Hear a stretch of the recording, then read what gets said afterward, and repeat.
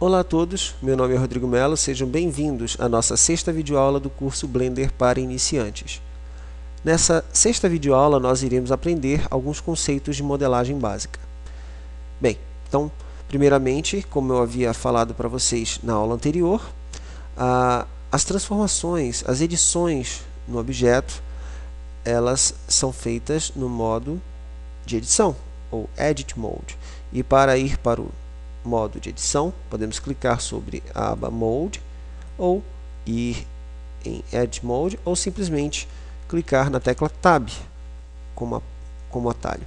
Então, os nossos primeiros comandos de modelagem serão os comandos uh, de, utilizados com o manipulador. Então, podemos selecionar aqui uma, um vértice e com o manipulador como vocês já sabem utilizar, eu irei movimentar este vértice com o manipulador, simplesmente colocando o cursor do mouse sobre o eixo desejado, pressionar o botão esquerdo do mouse e arrastar este vértice na, para a posição desejada.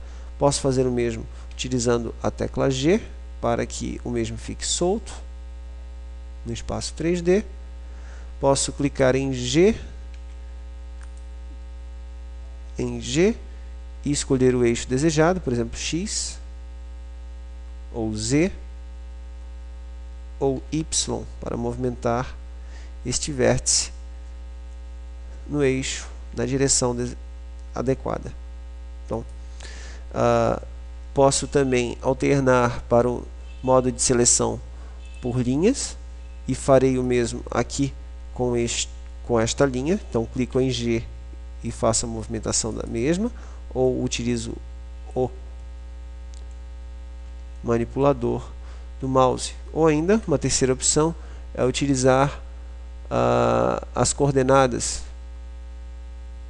que ficam localizadas neste painel lateral. E para ativar a visualização deste painel lateral, basta apenas que clicamos na tecla N. ok? Então, Clicando em N, ele desaparece e N mais uma vez, ele aparece novamente. Bem, o mesmo comando pode ser utilizado uh, com as faces, ok? E vale ressaltar que nós podemos modificar o tipo de manipulador. Então, podemos fazer a rotação dessas faces, ou a rotação aqui ativando o modo de seleção por Edge. Podemos fazer a rotação também das edges e dos vértices, e assim por diante.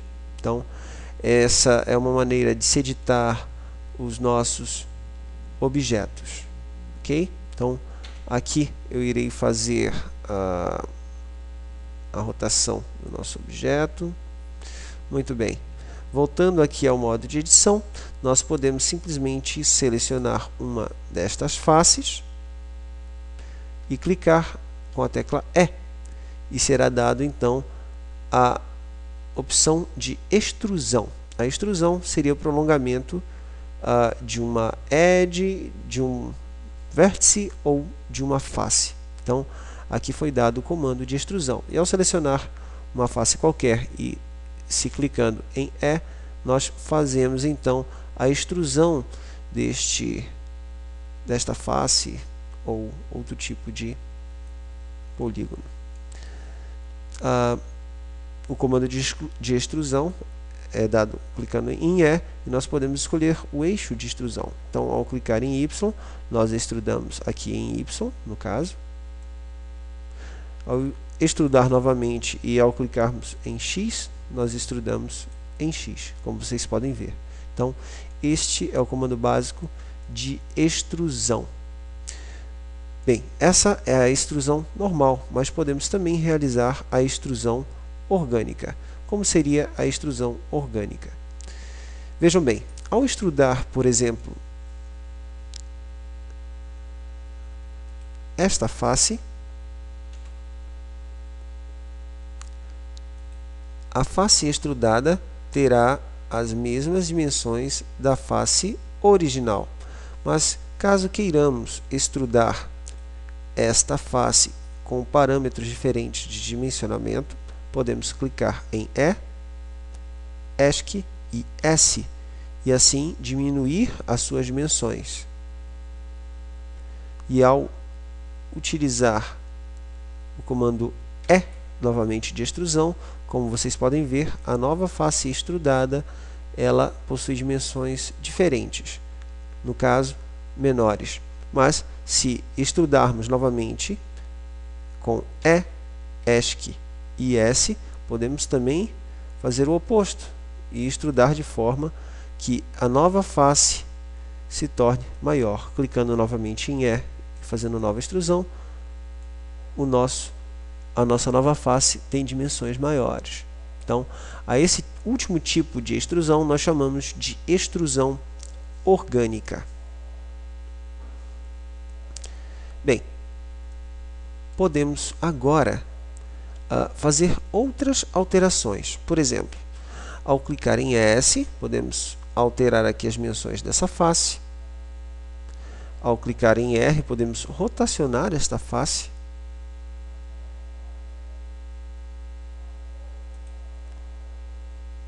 E ao clicar, por exemplo, sobre uma face ou um determinado vértice, nós podemos uh, fazer uma série de alterações de acordo com os comandos que foram passados, passados nas aulas anteriores.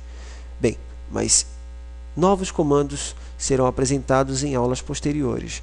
Espero que vocês tenham gostado da videoaula de hoje. Nos vemos numa próxima oportunidade. Fiquem com Deus e até a próxima.